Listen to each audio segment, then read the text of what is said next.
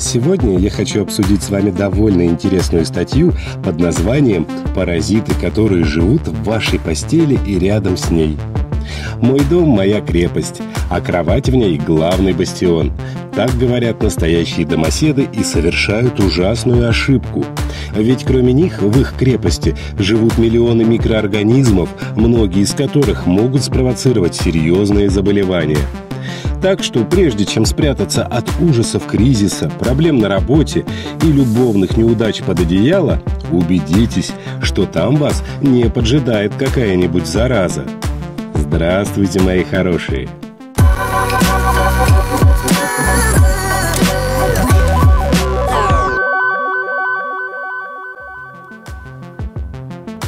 Бактерии в постельном белье – Каждый из нас хоть раз слышал о множестве бактерий, которые скапливаются в постельном белье во время использования. Но мало кто задумывается о том, чем именно грозит сон на несвежих наволочках и простынях. Американские исследователи решили восполнить этот пробел в образовании и взяли на анализ 50 подушек студентов из 25 колледжей – и в каждой из них обнаружили 350 тысяч колоний бактерий и 91 тысячу скоплений грибков. Больше всего в подушках нашлось возбудителей дизентерии шигел, бактерий из носоглотки Мараксела катаралис, вызывающих бронхит и пневмонию, и спор кладоспориум молс, грибковых микроорганизмов, провоцирующих аллергические реакции – кстати, в среднем мужские подушки оказались грязнее женских – 480 тысяч колоний бактерий против 290 тысяч соответственно. А в самом грязном образце нашли 170 миллионов микроорганизмов. Это хуже чашки Петри. Бороться с такими колониями можно кипячением или длительным проглаживанием постельного белья. Впрочем, тревогу стоит бить только тем, у кого ослаблен иммунитет – Здоровые люди от таких бактерий так просто не заболеют. А вот детям, больным и пожилым людям стоит менять постельное белье хотя бы раз в неделю. И обязательно после них проводить термическую обработку белья или сдавать его в химчистку. Пылевой клещ в матрасе. Этот паразит наверняка поселился в вашем матрасе, подушках и одеялах. Ведь теплое влажное место для него настоящий рай – Недаром, по статистике, в каждой кровати обитает в среднем 2 миллиона этих насекомых. Глазу они не видны, только под микроскопом. Так что не пытайтесь перетряхнуть свой матрас и найти их под подушкой. Кровь тоже не пьет и не кусается, но вызывает серьезную аллергию, конъюнктивиты, насморк, кашель, а также кожные заболевания, сопровождающиеся сыпью и зудом – Лучшие условия для клеща – влажность свыше 60% и жаркий воздух. Поэтому летом их всегда больше, чем зимой, а в помещении они встречаются чаще, чем на улице. Даже в самых тепличных условиях пылевой клещ вряд ли протянет дольше 30 дней.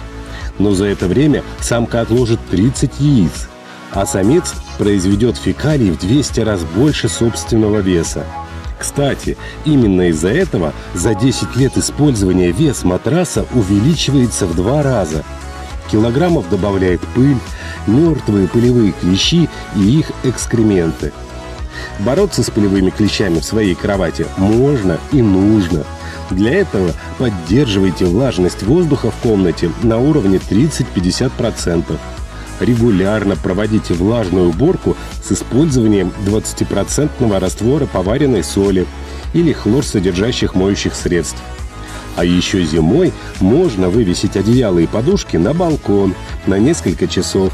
На холоде пылевые клещи умирают или впадают в анабиоз. Одежду не по сезону храните в целлофановых пакетах и поменьше используйте покрывало и мягкую мебель в спальне – Лишние пылесборники там ни к чему. Черная плесень на стенке. Кровать стоит вплотную к стенке? А нет ли у вас под обоями или за навесным потолком черной плесени? Во многих квартирах, особенно в панельных домах, стены заселили микроорганизмы Aspergillus niger, которые вызывают аллергию, астму и другие тяжелые заболевания дыхательных путей – Конечно, лучше всего задуматься об этом еще до переезда и покрыть стены антисептической грунтовкой. Но если денег на капитальный ремонт у вас нет, а жить с грибками все-таки не хочется, можно избавиться от них и подручными средствами. Например, пробрызгать пораженный плесенью участок стены из пульверизатора раствором масла чайного дерева. Ложка на стакан воды – Кроме того, устранить плесень помогают уксус, пищевая сода, перекись водорода и концентрированный раствор хозяйственного мыла, содержащего щелочь. Главное во время уборки надеть не только перчатки, но и респиратор. И по возможности прикрыть все ковры и диваны, в которых могут спрятаться счищенные с насиженного места споры. Грибок в тапочках. Спустили ножки с кровати и засунули их в пушистые тапочки – тут вас поджидают грибки Trichophyton rubrum, Epidermophyton floccosum. По данным Всемирной организации здравоохранения, грибковыми заболеваниями страдает каждый пятый житель планеты, а самое распространенное из них – микозы стоп и кистей. Заразиться грибком очень легко. У больного человека много спор в эпителии, частички которого попадают в окружающую среду. Самые опасные места с точки зрения вероятности заражения – бассейны и общественные сауны. Кроме того, не стоит надевать чужую обувь, в том числе и тапочки в гостях, или донашивать за кем-то носки и колготки. Споры грибков есть практически во всех ваших тапочках, и то, что вы до сих пор не заболели, заслуга хорошего иммунитета. Но стоит ему немного ослабнуть, а раздражение, трещины, пузыри и корки на ногах тут как тут.